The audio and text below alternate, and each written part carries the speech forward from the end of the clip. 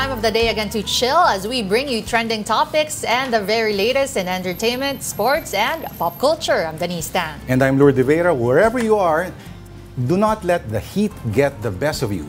Breathe. Think light. Hmm. And please enjoy our serving of Afternoon Delight.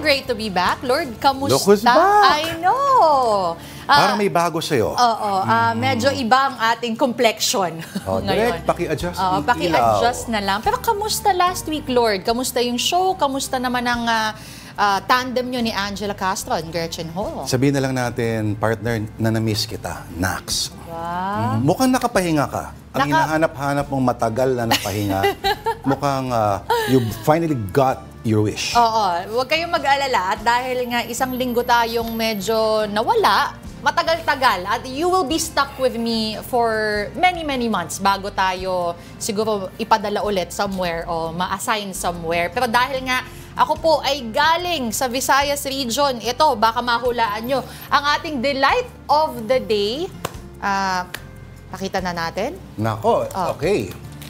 Peanut Kisses. Mm-hmm. Okay. Alam nyo na kung saan galing Ah. pag medyo familiar kayo kung itong particular na brand na ito ay familiar kayo. Peanut Kisses. At walang kinalaman ito sa Hershey, the Hershey Corporation. Mhm. Pero sinubukan natin, yung shape kasi nung peanut kisses, eh, sinubukan natin gayahin dito. Ayan, Oo. tribute ito, no? Oo, Sa, sa recent um, eco controversy, ika nga na nangyari dyan sa Bohol. So ito daw ang Chocolate Hills. Chocolate Hills. Oo. Ito da- dito dapat imaginary ang Ang resort. resort. Ito yung tubig. Oh, representation ng tubig ng pool. Ayun na lang. hmm, parang ano yan? Ano? Parang yan yung photo bomber. Ay, dapat pala pa ganun. Yan. Oh, yan naman yung submarine ng China. Ang dami na. Ito na lang, Oh. Kunyari, yan. Oh. Oh, polluted Ano water. Ano? Polluted Polluted water. water kasi kape. Oh, ito na lang, healthy apple juice, kunyari. Ay. Yan. Oh, sige. Oo. So, sana nag-enjoy ka at thank you very much sa pasalubong mong Of peanut kiss. course. Wala ka bang pasalubong para sa akin na tarsier?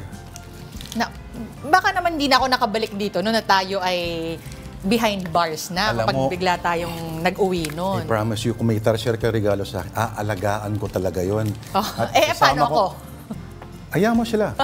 Isasama ko ang tarsier sa aking paglalakad sa park. Manunood kami ng mga nagbibisikleta. Ay, wow. Mm, at uh, mag-holding hands kami habang nanonood ng sine. Ah, yung imbis na yung nandito mo pocket square yung tarsier, nakasabit na gano'n. Ganun siya kaliit, ano? Oo. Oo. Oo. So, okay.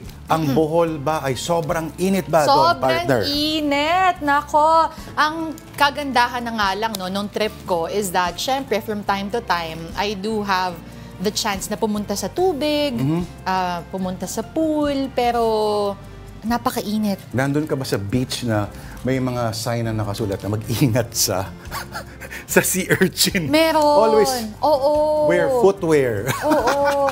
Actually, natakot ako. Tapos talagang habang naglalakad ako sa tubig, nakatitig ako sa tubig. Hirap. Oo, ang hirap. Nata- Mm-hmm. talaga ako. Kasi nga, the only way, well, one of the ways para maibsan yung pain kapag ikaw ay nakatapak, Uminom ng alcohol. is Le- iba pa. Ay, iba pa. Oo. Oo. Ay, ay, alam ko na. Oo. Yun. Alam ko yon. Oo. Ginawa kay Ann Curtis yun, di ba? Tama ba? Nabalita nga ba yun? Oo. Oo. Mm, at uh, nachismis si Donald Trump na involved daw sa ganyan. Sabihin na natin na it involves certain showers. Pero anyway, okay, Denise, isa sa mga gusto ko doon, doon sa pinuntahang mga beach ay Ah. yung honey ice cream. Pero I'll make do with this. Wala, mahirap. Limited ang ating bagahe. Next time na lang, ha? Para namang hindi matutunaw yung pag inuwi mo dito. Oo. Okay. Ah, sige, dahil nga nandito na tayo ulit, pag-usapan naman natin ang ating mga storya sa social media. Ito sa philstar.com. Oo. Sinkhole forms along Pasay Road. Mhm. So, basically, yung pinaka pwesto nito is along Sales Road in Pasay City, right underneath dong Skyway. Oo. So, ang, ang laki nito, kaya talagang balitang-balita kasi it is about 3 meters in width and 3 meters in depth. Wow. And sinitignan ko ah, ang typical na size ng isang sedan is around 4.8 meters. So imagine niyo na lang na kasing haba siya halos ng ng sedan. At saka yung lapad. So mabuti na lang at na, na-discover ito ng maaga-aga bago may Oo. na-aksidente. Yes. Mm. Ak- Sinkhole, naalala mo, huli natin na, narinig yung term niyan ginamit. So Boracay pa. Remember that? Pre-pandemic ba yon or during pandemic? Nagkaroon doon ng mga sinkhole sa Boracay. At multiple sinkholes pa raw. Pero anyway, ah, ito ba, Denise, eh, isa sa mga madadaanan mo o nadadaanan mo everyday? Wag Pasay na- Road. Sabi sa'yo, wag mong i, i, i at what do you call that? Hindi ko I-broadcast na Hindi ko taga, oo. sasabihin na, Hindi na. umuwi ka sa San Lorenzo Village. Wink, wink, wink. At sabay, ito pa lang ating kasama na umuwi doon. Pero hindi, um, kung kayo po eh, taga-South, Mhm. ah, gumagamit kayo ng SLEX, yes, ah, po- posible na madaanan nyo yan on a daily basis. So, sobrang traffic ngayon dito. Sobrang traffic kasi ay, ay. umiikot-ikot ngayon. They have to, uh, syempre, nagpo-fork, nagkakaroon ng not fork. Um, What do you call that? Build up. Bottleneck. Bottleneck. oh. Nagkaka-bottleneck Pero tinan parang halos perfect circle. My God, saan pa kaya may mga sinkhole dito sa Maynila? Ayan. Pero alam mo, usap-usapan dyan, syempre, di ba sabi nila, bakit sandamakmak naman yung ah, construction or yung yung renovation na parang laging to improve the quality of our roads. Ah, pero bakit hindi daw yun napapansin? But um, yun nga, ito namang Skyway Management, um, you know, they were already on it. They sent a vacuum trunk, uh, a truck rather, to siphon the water dun sa pothole. Tapos may Maynilad personnel din na nag-check dun sa leak ng ah, tubig. At ang sabi niya, ah, hindi naman daw to sinkhole. Ah. Ang nakalagay dito ah, the Maynilad personnel refused to call the pothole a sinkhole, Sinkhole. Saying the latter refers to a natural phenomenon and is not caused by infrastructure project. Ano kaya natural phenomenon yun? Pero bakit pothole yung ginamit na term? Ang pothole ay, alam natin Eh yun. kasi ayaw niya daw ng sink. Eh nakalagay oh, refused To call it to a call sinkhole. it a sinkhole. Pero tinawag nung article na pothole. Alam ko lang pothole ay yung isang tambayan ng mga mga mahilig sa reggae. Okay, okay. Ito naman, sa Associated Press, so ingat pa rin sa mga dadaan po dyan, mga kapatid. Okay, so isang headline dito, AI-generated fashion models could bring more diversity to the industry or leave it with less. Yes. So Wow. ito, lumabas to na ah, Ito pa to. Yes, yes. Ito yung mga models, no? So those are AI. Computer generated um, uh, artificial intelligence nga for models uh, showcasing different body types, uh, different ethnicities. Pero ang pinag-uusapan nga dito is, ito ba ay mas nakakabuti sa fashion industry? Kasi syempre, para sinasabi nila, okay, it could showcase nga na pwede siya sa iba't ibang tao. Let's say that piece of clothing na lahat sila pare- pare-parehas na lang suot. But at the same time, kapag ganyan na, you're taking away jobs for the models, you're taking away jobs for, let's say, photographers, makeup artists. Kumbaga parang nagiging domino effect. So mas maganda nga ba yung gantong klasing atake? O mas okay pa din yung tra- traditional na let's say you have a photo shoot? ang bilis ng takeover ng AI sa certain uh, aspects ng lifestyle natin. Pero Denise, Yes. okay, an- ano raw ba, bakit mm, mas mura ba? Of course, kasi hindi ganun kamahal. Pag nag-AI ka versus a supermodel na, sabihin natin, napakarami pang demand sa super arte pa halimbawa. Oo. Well, May attitude, ika nga. Well, madami kasing nagsasabi na um, the reason why they do AI is not just because mas bumababa yung cost nila eventually. Ah, but also, meron din mga nagsasabi na uh, not only can you uh, show diversity even more na mas konti yung taong kailangan mo, pero uh, ito, nakasulat dito, uh, tailored purchase decisions that in turn reduces fashion waste from product ah, returns. Gets ko na. Okay, ito, kaya siya, digital modeling ang tawag ay, siguro tinetailor fit niya doon sa mga potential na magsusuot. Oo. Kaya lang kasi, ang mahirap din dito is, paano mo ngayon i... Paano ka hanap ng representation ng tao na makaka-relate yung mga tao. Ah, how do I say this? Hmm, ito, Kasi, Denise. oh. Ang isang argument dyan ay, kung inaakala natin na gusto natin bumili ng mga damit na suot ng mga kagaya natin, Mm. medyo nag-fail yung idea na yan. It turns out, kaya may mga, let's say, mga models na impossibly good-looking and impossibly shaped, Aha. superhumanly shaped, is because ito nga, ang in the end, yun pa rin ang gusto natin Yes. ma-attain. Oo. Kumbaga ano pa rin siya. Ano ang term doon? Um, hinahanap, ito pa rin yung end goal ko, hindi yung kamukha ko. Parang ganun. So, uh, ito yung napatunayan, tag-fail yung model na, I want models who look like me, no? Sorry. Ayun, so yun yung pinag-uusapan dyan. And also, they're saying there is this growing fear that AI could eventually take over the Ay. BPO industry as well. So, sisiw lang yan. So, Oo. totoo lang. O, kayang-kaya yan yung mga, is it, try mo ni chat GPT. Mm, I know, not Na, yet. ang freaky niya. Mas magaling siya magsulat kaysa sa atin lahat. Oo. Oo. Yun nga lang, um, pagdating sa, let's say, yung hu- yung humanity na hinahanap. Okay? Kung may mga, let's say sa call center, umaangal yung sa accent, ay hindi ma-pinpoint masyado. At ihirit ka ng, can I speak uh, someone who doesn't have ibang Yeah. proclivity ng lingwahe? ma-adjust niya agad yun. Pero it's simply a matter of time before we finally bow down to our AI overlords. In short, Terminator era. Nako, ayaw natin yan. Mm-hmm. Kaya, ang lipat na lang tayo. Ang pag-uusapan Ito natin. balita ko ay AI daw to eh, hindi Anak, ba? hindi. Walang kahalo-halong AI to. Pero, Nakakausap. Well, oo, Denise, makakausap siya. Pero ang on- on-command lang dito, eh, pag hinirita mo kumanta.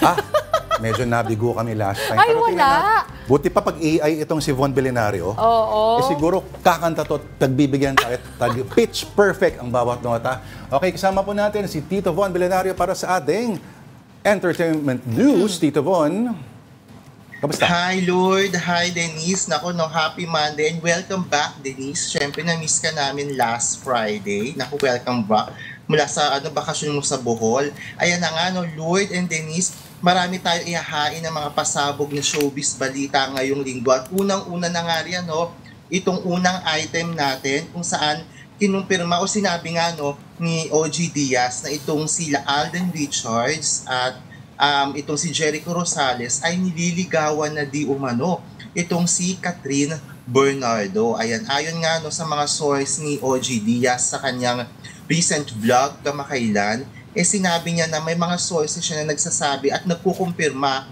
daw na nanliligaw na nga itong dalawang aktor kay Catherine Bernardo. Ang sabi pa nga ng kanyang mga source eh, mukhang nagugustuhan talaga ng pamilya ni Catherine itong si si Alden no? Dahil yung mga qualities na hinahanap nila eh pasok na pasok daw itong si Alden. Mabait responsable financially stable etc pero ayun nga no? Syempre itong balita na to ay medyo matagal-tagal na rin na pag-uusapan dahil sa mga recent na na mga event sa buhay ni Catherine eh kapansin-pansin yung presence nitong dalawang aktor na ito. Syempre, no, kamakailan no, sa yacht party niya sa El Nido, Palawan, naroon nga sila Jericho Rosales at saka si Alden Richards. At ito namang ano no recent housewarming ni Catherine eh present naman itong si Alden Richards na talagang pinagkaguluhan ng mga netizens. Um, naging viral nga yung hashtag cat din dahil kilig-kilig din naman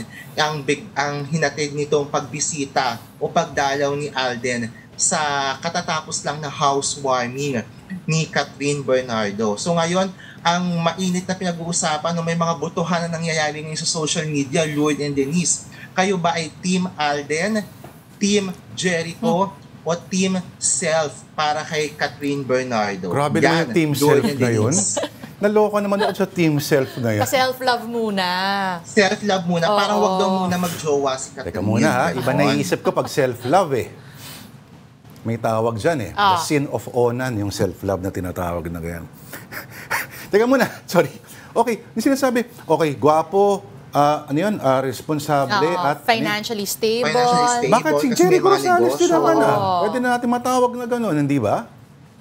Mm-mm. Pero syempre ito nga yung ayon sa ano no sa source ni Mama Oji Diaz na kinuwento sa na kinuwento niya sa ano no sa kanyang showbiz vlog. Syempre hindi pa hintayin natin kung may another kwento ba or may another balita ba tungkol naman sa mga qualities ni Jericho Rosales na posibleng magustuhan ng pamilya ni Catherine Bernardo. Ikaw, Von, saan ka? Kaninong team ka?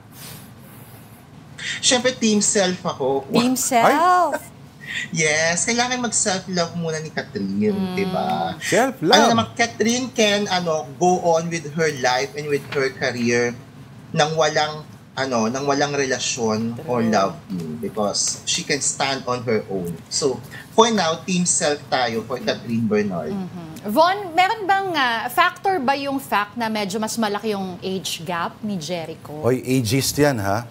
Hindi, eh, Discrimination Pero yan sa wala, mga may edad. hindi. Kasi syempre, yung iba kasi nagiging factor yon. We're not saying that that should be the case. Pero yung preference na yon, meron bang ganon?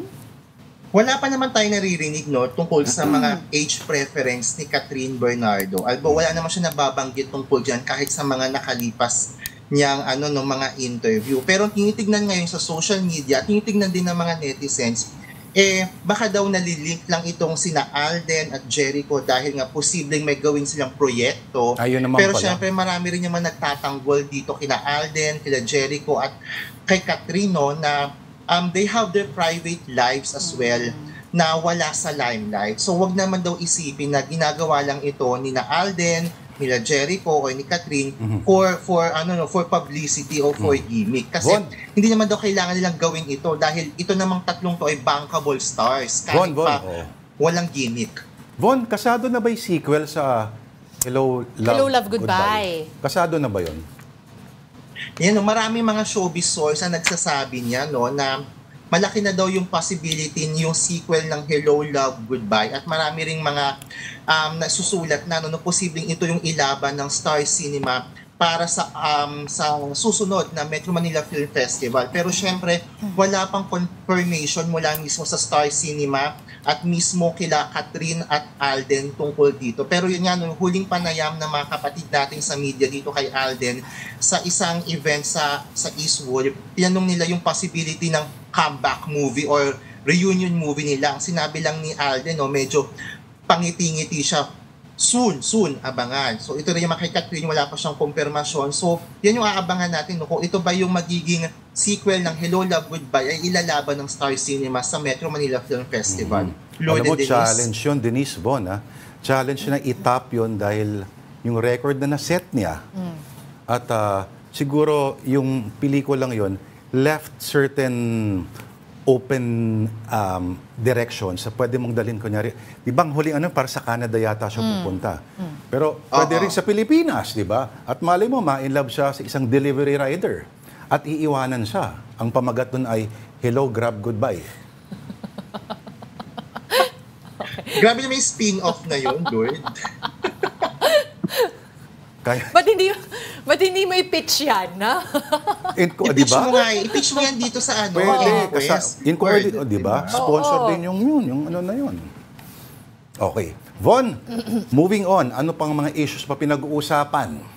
Siyempre itong moving on from one issue to another, na pinag-uusapan din talaga itong um, The Idea First Film Festival no, na ginaganap sa Gateway Cineplex kung saan nag-premiere nga ano, na, sa kauna-unahang pagkakataon dito sa Pilipinas yung critically acclaimed film na Your Mother's Son na pinagbibidahan nila Cocoy de Santos, Miggy Jimenez, Sue Prado, at Elora Espanyo, no? So nagkaroon tayo ng pagkakataong mapanood yan last Friday at nakakwentuhan natin sina Direk Jun Lana, sina Direk Percy Intalan, at saka itong mga main cast, no?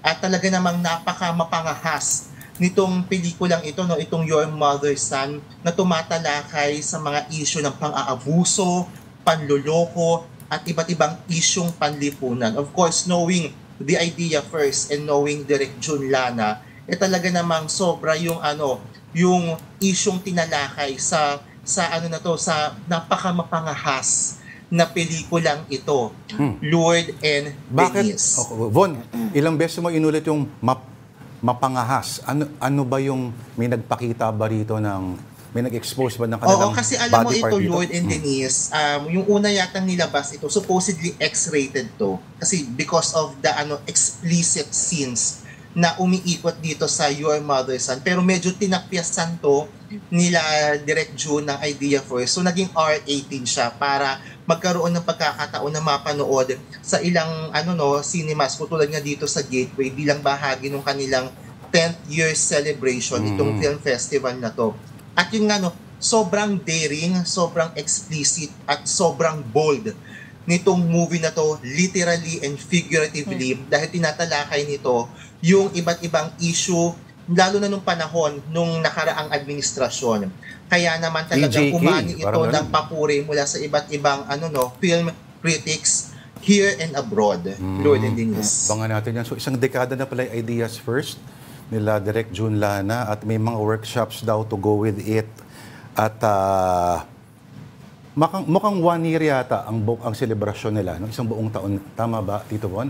Pero sige, marami abang- silang marami silang pasabog Lord and Denise no at ito nga kahapon o kagabi rather eh nag-reunion yung cast ng ng Game Boys at sa huling bahagi ng reunion eh parang may anunsyo o pa-teaser yung Game Boys NYC. So mukhang may ano no may may panibagong tagpo para dito sa hit BL series na naging movie lalo lalo na nung panahon ng pandemic. So aabangan ng mga fans nila ano no Kokoy at Elijah kung ano yung magiging continuation ng kwento ng dalawang karakter na ito na talaga namang umusbong at sumikat lalo na nung panahon ng pandemic itong ano BL project na ito ng The Idea First. And aside from that, sabi nga nila Direct June at Direct Percy, marami pa silang proyektong gagawin, katulad na nga yung pagpuproduce for TV, kabilang na dyan yung Barangay 5 Panalo na umi-airing sa TV5 at papasukin na rin daw nila yung stage production.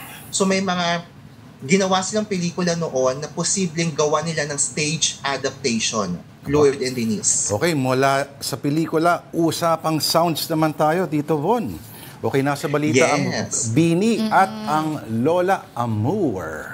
Yes, ito nga, no, syempre sobrang successful nitong P-pop group na ito, ang all-girls, na, ano, no, ang tinuturing na pambansang girl group ng Pilipinas. Ito nga ang Bini, kahapon nga sa ASAP natin to nagkaroon ng Pantropico Day kung saan sinayaw at pinerform ng Bini itong sikat na sikat nilang hit na Pantropiko kasama yung iba't ibang mga social media influencers, fans at netizens na nag-upload at gumawa ng dance video nila, no? So yan, sobrang naging big celebration yan sa ASAP natin to. At syempre kahapon din, no, sa kanilang kauna-unahang mall tour para sa kanilang taal, taalaraw, taa, Tala-Arawan EP, eh di nagsari ng libo-libong fans ang Bini sa kanilang mall tour sa isang mall dyan sa BGC. So patunay talaga ito na talagang patuloy yung pagsikat ng P-pop group na ito ng Bini. At syempre hindi pa natin napag-uusapan dyan no, yung sold out concert nila yung tatlong araw na concert nila sa New Frontier Theater ay sold out din. So talaga namang kudos and congratulations para sa P-pop group na Bini para sa patuloy nilang tagumpay sa mundo ng music and entertainment. At syempre from Bini, eh ito rin no, nakakwentuhan din natin ang hit na hit ngayon na OPM band naman na Lola Amor na ito nga no nakaraang weekend nung Sabado nagkaroon sila ng album launch concert sa Circuit Makati kung saan ano no ibinida nila yung mga awitin mula sa kanilang first ever album kabilang na nga rin of course yung hit na hit nilang Raining in Manila. Pero dahil hindi na umuulan dito sa Pilipinas we are officially on dry season eh abangan din yung bago nilang pasabog na single o kanta. Ito ngang umiinit. At talaga namang aabangan niya ng fans ng Lola Amor dahil nagpasample sila sa atin no? At mukhang ito na maging susunod nilang hit na tamang ano no akmang-akma sa panahon ngayon Lord and Denise. eh, nagpa-sample sa'yo, eh, kami, hindi naman namin nadinig Oo Von. Eh. nga, Von. Pa-start the week right ka naman, Ay, Von. mukhang pinapahiya ka ni Von, Denise. Von, Pararating come on, lang. Von. Anong gusto niyo? Yung Raining in Manila o yung umiinit? Yung umiinit, syempre. Oo. Alam naman namin yung rain. Nakibagay tayo sa panahon. Oo. Hindi ko pa masyadong memorize yung lyrics kasi parang kare-release lang ito. Pero ito yung tono. Umiinit, umiinit, umiinit, umiinit. Yan, yan muna. Hindi ko ba memorize yung lyrics eh, Lord and May Denise. patis. Pero Ay, yung isa na lang. Yung isa na lang, Von. Alam yung Raining in Manila. Oo. Bago ka palitan ng AI, dali. O para siguro pag kumanta ako, medyo baka ano no, umulan at ano, medyo lumamig yung yung paligid. Tandaan mo, nandito si Sir Patrick Paes sa tabi namin. Nakabantay. Oh my Seryoso. God. Hi, Pipi. Kumusta ka? Galingan mo. Mm-mm. ano, seryoso ba yung Raining in Manila? Ay, ang dami sa tenga ko nagsasabi Hindi, eh. nabababaan niya So, it's- eh. Ay, Oh, walang challenge Okay, kay ito Von yun eh. Sabi ko kasi kay Lord, babawi ako this Monday kasi last Friday, hindi ako naka, ano, nagkaroon ng, hindi ako nakakanta dahil nagmamadali ako. Sige na nga, ito na. It's been raining in Manila, hindi ka ba nalalamig? Cause it's been raining in Manila, hindi ka ba naiinip?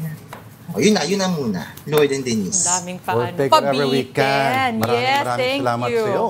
Oh, pinagbigyan tayo ng ating Tito Von Belenario. Thank you, Lord and Denise. Alright, see you again on Wednesday, ang ating entertainment producer, Von Belenario. Okay, nag-uumpisa pa lang po tayo. Next on Afternoon Delight, makausap po natin mga kapatid, ang Batikan at brilliant Jack of all trades and Master of all. Ang kabago-bagong freshly appointed sa FDCP chairs, Direk Joey Reyes po. At may kwento rin tayo tungkol sa soup number 5. Yes. Lahat po yan sa pagbabalik ng Afternoon Delight.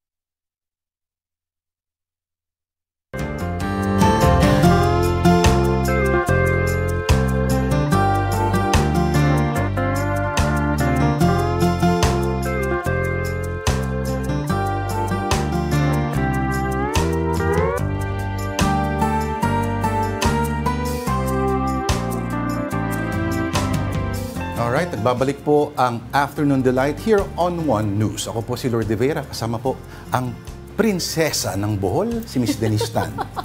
Prinsesa talaga. Isang linggo lang doon. Pero eto, dahil nga I am back, oh, I am here to run you through the news we have here on One News. Transport groups Piston and Manibela have started their two-day strike today. This is to protest President Bongbong Marcos's pronouncement that there would be no extension of the deadline for franchise consolidation after April 30.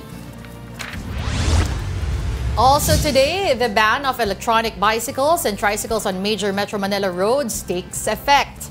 These include EDSA, Marcos Highway, Commonwealth Avenue, and Elliptical Road. This Monday is also the deadline for the submission of annual income tax returns to the Bureau of Internal Revenue.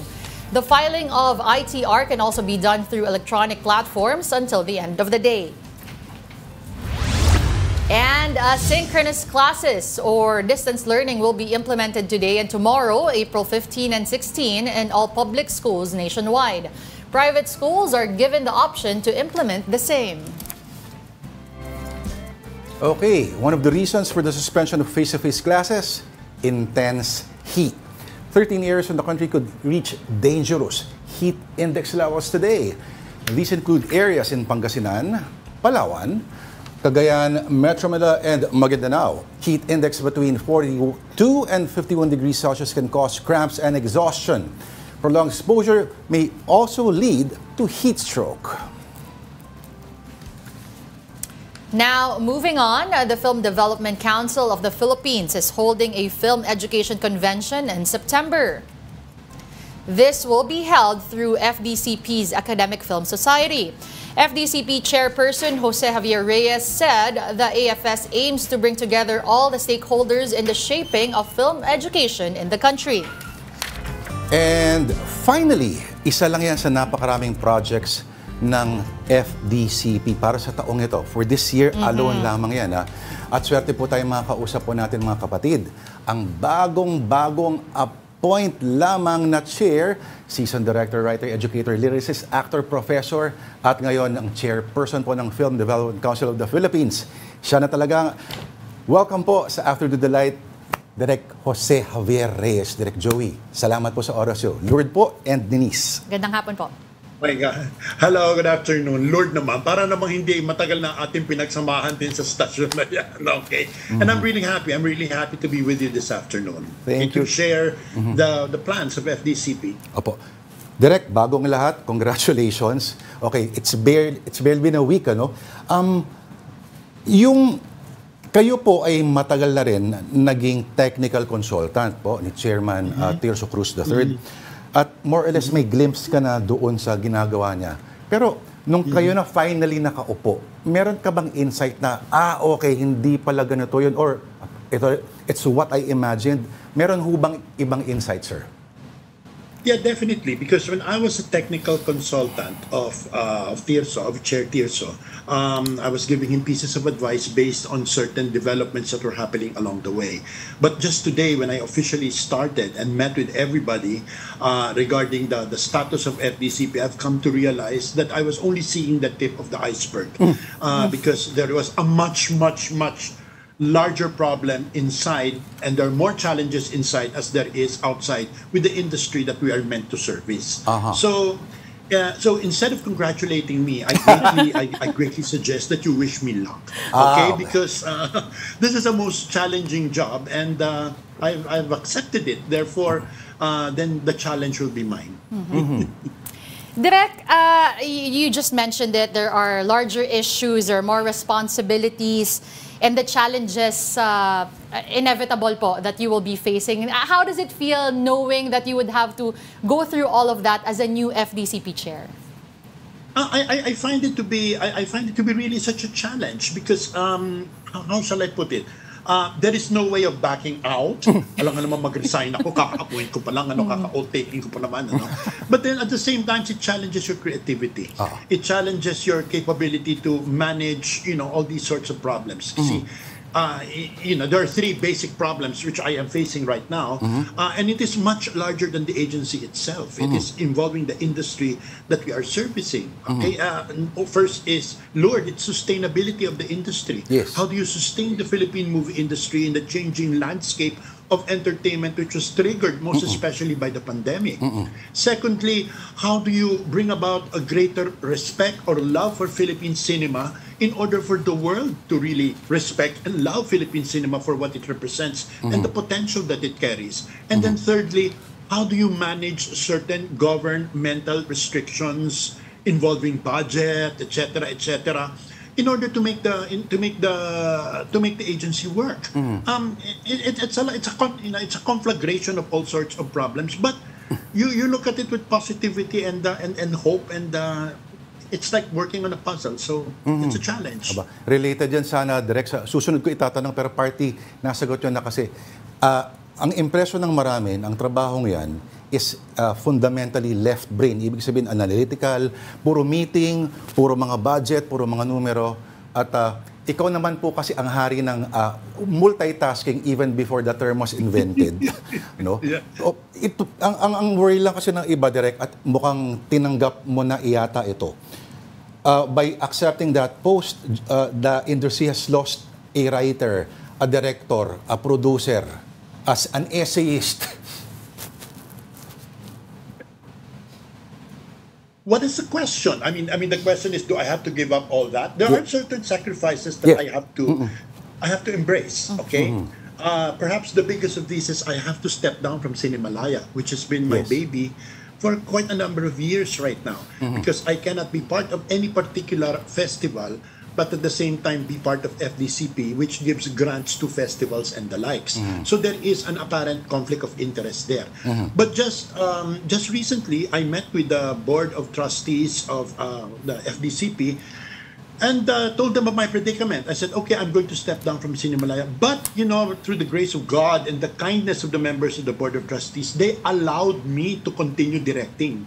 Okay, they said that, you know, we are not going to stop you from directing. I said, okay, I will continue directing, but not a single one of my projects will be uh, requesting anything from FDCP. That much I can guarantee, and that much is assured. Nangangahulugan, I can still direct, Okay, but then uh, wala. It, it cannot ask for grants. It cannot ask for incentives from FDCP. And the third, which is my third love, which is teaching. Yes. I'm allowed to teach because wala namang conflict of interest. So I will keep on teaching in De La Salle University, and I may stay okay as a consultant in the College of Saint Benilde. So uh, it's still basically the same thing except that I asked for an extra layer of work to add to my rather you know fill and fulfilling days. So it's again part of that challenge. Part of the challenge.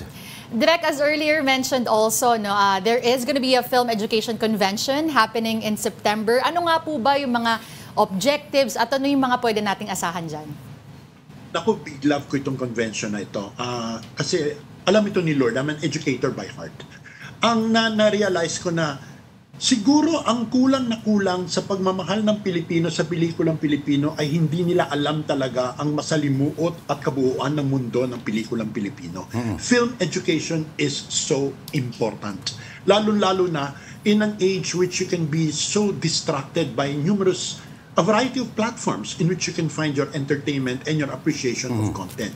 So, film education comes in three levels. First, okay, there is the film, you know, the filmmaker, the next generation of filmmaker. We have to assure ourselves that we provide enough impetus and possibilities and opportunities for the next generation of filmmakers to be so much better than who we are right now. This present generation, as well as that which uh, I belong. Secondly, the film educators. Okay, um, there are numerous courses, there are numerous threads, uh, even in senior high, in junior high, which you know, which which teach film, but sometimes the deficiency comes from the the teachers who do not know how to teach film. So we want to train teachers to teach film so that their students can properly educate film. And then thirdly, the film audience, the Filipino audience. How do you educate the audience in order to uplift their taste?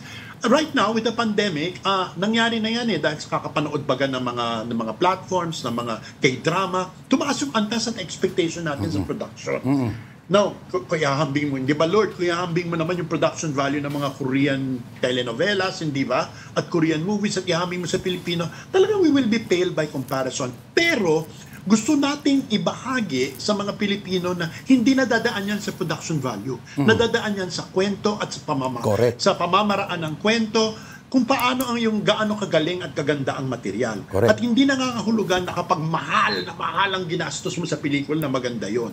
We know that even from Hollywood, we have all these, you know, fabulous technologically, you know, uh, enhanced movies which are, mm, you know, theme park rides Correct. which really do not carry any substance. So, it all boils down to the creation of content both the creative and the audience. Correct. And dito, you know what we're really gonna fight for is we create films for Filipinos which will be loved by the world.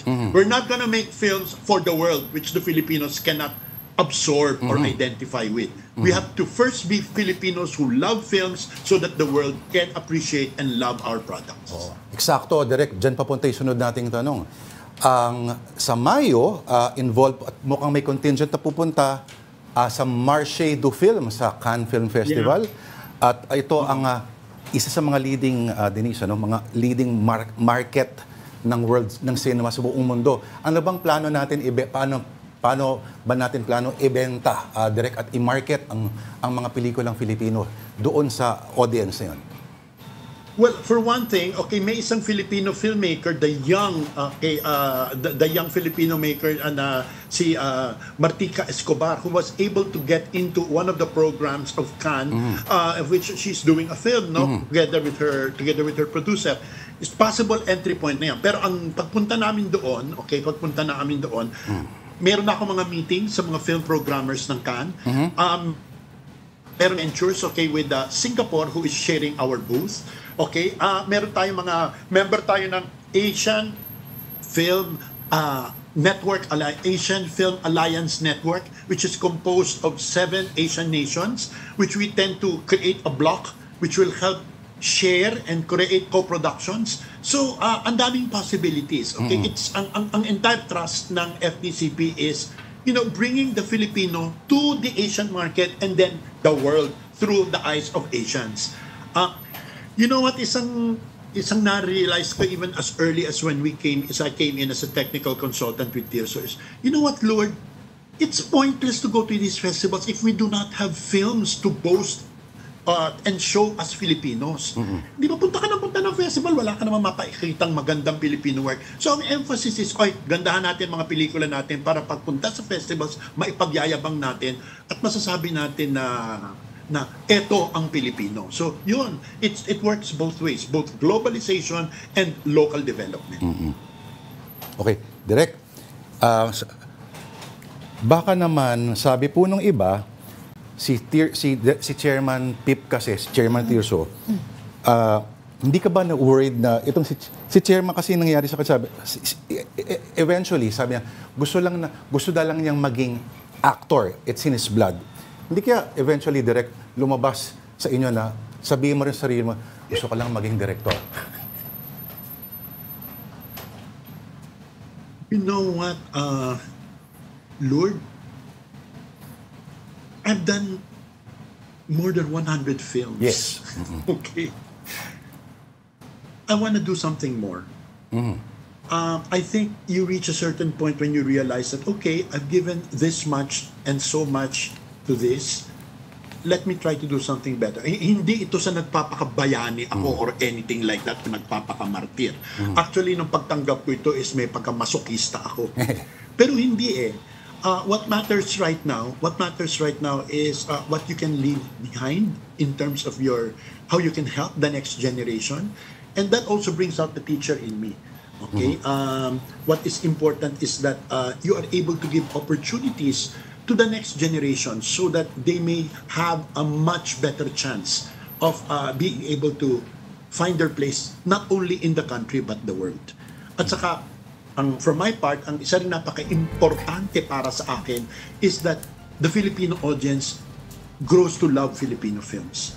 Um, the Filipino film industry cannot just be 10 days each year through the Metro Manila Film Fest. Hindi po pwede na sampung araw lamang sa bawat taon nanonood ang mga Pilipino ng mga Filipino films. And we cannot go back to 2019, okay? Because um, the pandemic changed the equation of the entire manner of which you find entertainment. So, hanggang sa akin, as much as I can help and as much as, uh, as, as much as my energy still allows me, I am going to work hard and on this. Now, yung kay Tirso, Tirso is an actor and we realized that is his first and great love. With me, I, I, I'm a little bit crazier than Tirso. See, I told that to my to the, the agency this morning. I'm much crazier than Tirso because um, I, I my, my commitment is actually there is something selfish about this because I want to prove something to myself as well that I can do as much with so much and with this given opportunity. And I owe Tirso for this because it was Tirso who endorsed me to be his successor. Direk, ah, balikan ko lang mabilis yung nangyari. No? Noong December, ah, ang ganda ng reception dun sa ating mga MMFF movies. Talaga tumatabo. ang ang daming ah, ah, movies na na talagang napag-usapan ah, ng, mad- ng matindi. Pero will the FDCP continue to push for, let's say, incentives for Filipino films by way of legislation? Nasaan po tayo ah, with regard to this? Ay nako. Alam mo, mahirap lang magsalita at this point pero ang dami naming ginagawa upang matulungan ang Filipino filmmaker at hindi lamang ang Filipino filmmaker kundi pati na rin ang mga posibilidad ng mga co-production ng mga Filipino producers with foreign co-productions. Ang dami mga programa ng FDCP na na-establish na noong pangkapanahonan ni Lisa Dino na pinapagpatuloy namin. And hopefully, hopefully, um, kumahanap kami, umi- for instance, ang isang ang isang ginagawa namin ngayon is we are trying to desperately simplify, okay, um, the manner by which you can get permits for people to shoot, okay? Uh, we are dealing with uh, Benher Abalos, Secretary Abalos of DILG, na tulungan nyo naman kami para mas madali ang paggawa ng shooting kung paano sa paghingi ng permiso. And you know, thanks to the grace of God, Lord, Benher Abalos was my student. Wow! Okay? So, you know, ah, so because of that, okay, mas maganda yung affinity at yung relationship namin sa isa't isa tungkol dyan. So, yun. So, it really helps a lot. Um, ang dami pa niyan. Ah, we're working with DTI, okay, and we're working with DOT. And yan ang pinupush namin. So that the Filipino eh, movie industry is not merely isolated uh, as, as, as such, no, or the FDCP is isolated as such, but rather it is part of the, you know, it, it has a, syn- it's synchronous, okay, to the other, uh, the other agencies of the government. Alright. Direk, alam ko marami ka pang gagawin at bitin lagi yung usapan. Always a pleasure having you over. Maraming maraming sa or salamat sa oras nyo. FDCP Chair, Direk Jose Javier Reyes. Direk, thank you. No, thank you so much, Lord, and it's really great seeing you again. I Alright. wish we can sit on the same table again in some in the near future. Ay, nako. At yung Adidas ko, Direk. Tandaan mo yung Adidas natin. thank you so much. Thank you, thank you. Direk Joey Reyes. Thank you. Salbahe ka. Okay, mga kapatid. Okay. Yan kami si Direk Joey. Okay. So, Oh, ano ba pinapanood pa rin nila ay afternoon delight pa rin dahil syempre hanggang alas tres pa po tayo and still ahead. Ito ang tanong, have you tried soup number 5? Malalaman natin kung saan matatagpuan ang OG version niyan OG. sa aming pagbabalik. So keep it here on One News.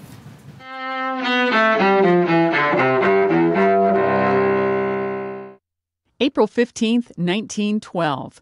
Just hours after hitting an iceberg, the Titanic sinks off the coast of Newfoundland. About 1,500 people on board the British luxury liner perish in the waters of the icy North Atlantic. 1865. President Abraham Lincoln dies in Washington, hours after John Wilkes Booth shoots and mortally wounds him at Ford's Theater. Vice President Andrew Johnson succeeds Lincoln in the White House. 1947. Did you see Jackie Robinson ball? It Jackie Robinson becomes the first African American player in Major League Baseball. His debut with the Brooklyn Dodgers shatters baseball's decades old racial barrier. 1986. The United States launches an air raid against Libya in response to the bombing of a disco in what's then West Berlin, Germany. Libya says 37 people, mostly civilians, are killed in the raid. 1998. Pol Pot, leader of Cambodia's Khmer Rouge, dies of natural causes along the border with Thailand at age 73. He evades prosecution for the deaths of 2 million Cambodians under his brutal regime during the 1970s.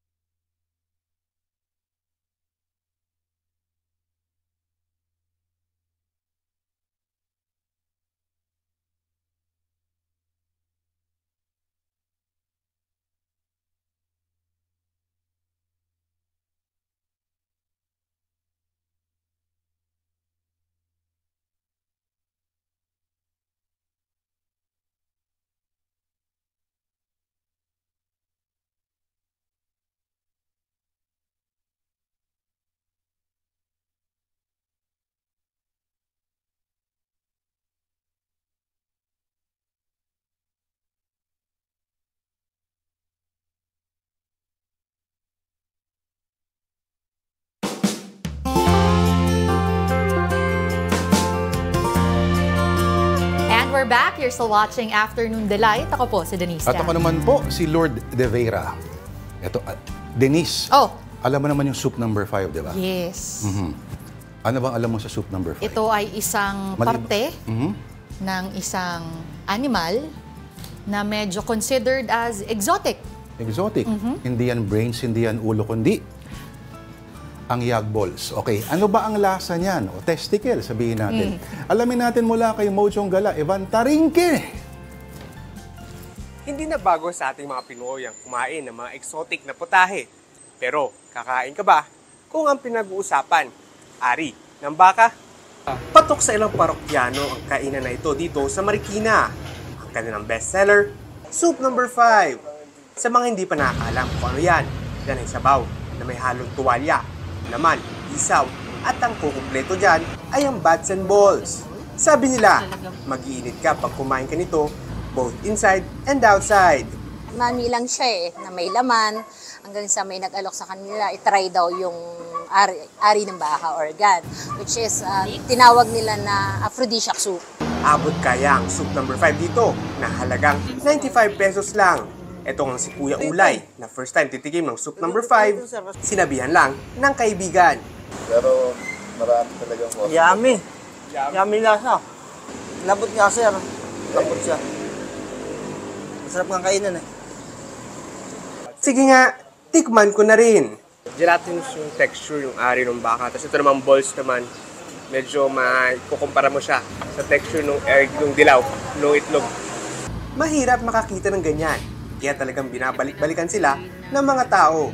Ito, mainit siya sa, ka- sa katawan, lalo na pag uh, yung sabaw, lalo na pag taglamig. Yun, yun yung hinahanap-hanap nila. Mahilig talaga tayong mga Pinoy sa mga kakaibang food trip. Pero kahit sa anong klase ng pagkain, tandaan, hinay-hinay, at huwag mag-aaksaya. Mobile Journal. Ivan Tarinki po hatid ang mukha ng balita. Kaya naramdaman si Ivan nakakaiba after drinking that soup. Baka lalong mainitan. Yun, malamang. ito, mag-aalas stress na, kaya ito na mga kapatid, ang I Saw the Signs Caption This Edition. Ito, to, to, to. Ang sabi ay, caption. Ito, ah, sorry. Ah, tayo ba Ano to? magka-caption nito? Two-piece chicken with Coke and fries, sir. Ah, kasi para kumukuha ng Ah. order. Oo, para silang nakapila sa tipo mga drive-thru ng fast food. Okay. O, ito naman, paano mo to ika-caption, Lord? Today is my lucky day. Okay, alam ko lang magiging swerte siya. Depende sa kanyang preference sa buhay. Okay, legit, valid, valid, Legit. valid. Okay, merong Barbie at merong Oppenheimer. Ang tawag nila ay Barbenheimer. Pero sa pagkakataong ito, ang Gumburza na pinalabas ang huling film fest, kasama rin ito. At nasa Netflix Nasa na yun. Netflix na Ang nga. Becky and Badette, nasa Netflix din. Comedy naman to. O, pag pinagsama, ay, ay Gombadat. asan ang, meron bang meme yan? Ah, wala. Oo. Okay, napahiya tayo, Denise. Nakakasama ng loob. Huwag sumama ang iyong loob. Kinaya pa natin ang dangal natin. Gombadet. Oo, parang zombadings. Ah. Pero may napanood ako na re- recently. Oh, Kukwento ko sa'yo mamaya, ibang klase talagang, kaya medyo napuyat ako. Mm-mm. Kala ko, sipik, silipin ko lang yung thriller. ah. Nahiya lang ako, hindi ko tinapos yung seventh episode. Ah, sige, mamaya pag-usapan natin yan. Pero ngayon, ah, this will do it for us. That will do it for Afternoon Delight. Ngayon pong Monday, April 15. Again, I'm Denise Tan. Welcome back, Denise Tan. Ako, ako naman po si Lourdes Rivera. Join us again tomorrow, 2 p.m. Ito po ang Afternoon Delight. Have a delightful afternoon, everyone.